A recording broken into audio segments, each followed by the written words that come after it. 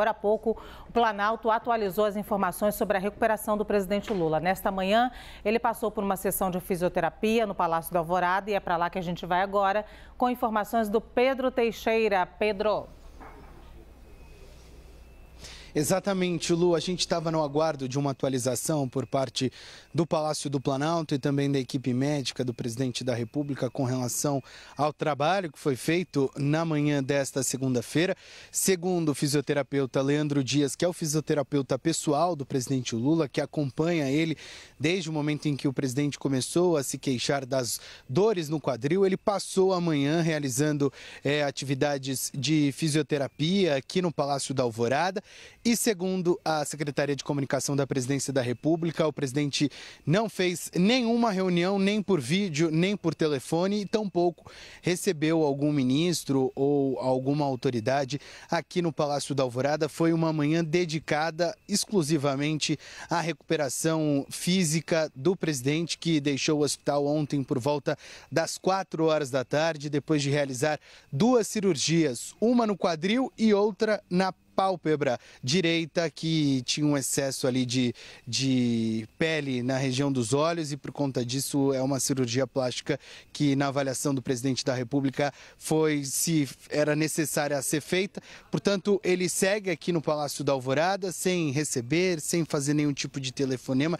Era justamente neste sentido que os médicos já tinham indicado durante a coletiva depois da realização das duas cirurgias lá no Hospital Sírio-Libanês que pelo menos nos dias o presidente se dedicasse exclusivamente à sua recuperação de saúde. Foi isso que ele fez na manhã desta segunda aqui no Palácio da Alvorada. Lu.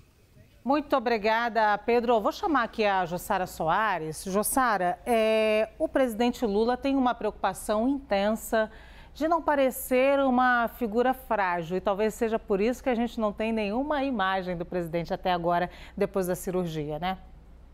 É isso, Lu. Era algo que a gente já ouvia nos bastidores, de que tinha muito cuidado sobre como seria essa recuperação que era para evitar como o presidente é, com uma imagem fragilizada. O presidente já tem 77 anos, não descarta é, concorrer à reeleição e a gente sabe que a imagem do político, a construção dessa imagem de passar um homem forte, isso faz parte da construção da política. Os marqueteiros estão aí para isso. Na semana passada, o presidente deu uma, uma, uma declaração que foi muito criticada. Ele falou: olha, vocês não vão me ver aí de é, andando de cadeira de rodas, de rodas e de muletas. Eu vão sempre me ver bonito. Isso foi certamente muito criticado pelos ativistas das pessoas com deficiência pelo capacitismo que contém essa frase do, do presidente Lula, né? Então isso é uma, uma crítica que foi feita à fala dele, dele falar, olha,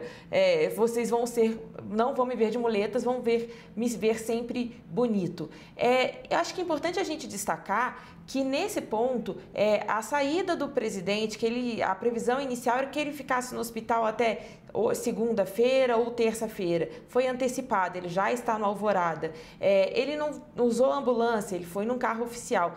Tudo isso são sinais para evitar qualquer tipo de fragilidade. Semana passada, ele usou em alguns eventos públicos, como a posse do Luiz Barro, Roberto Barroso como presidente do STF, ele usou até a máscara ali para se por prevenção, na, pra, porque ele ia fazer a cirurgia no dia seguinte. Mas isso são, de, são detalhes que eles usaram. A, a ordem é: vamos proteger a imagem do presidente. Ele tem 77 anos, mas é para a recuperação dele vai ser muito boa porque ele é forte. Como, como eu já disse aqui, essa preocupação de parecer uma imagem fortalecida, de alguém que se recupera rápido, tem muito a ver com a política. É, são sinais. Olha, não é apenas um presidente forte, é também um governo forte. É engraçado, porque isso é exatamente o que acontece nos Estados Unidos em relação à imagem de fragilidade de Joe Biden, que é super explorada, inclusive, por Donald Trump. E a frase do presidente Lula foi capacitista, gente. Obrigada, Jussara.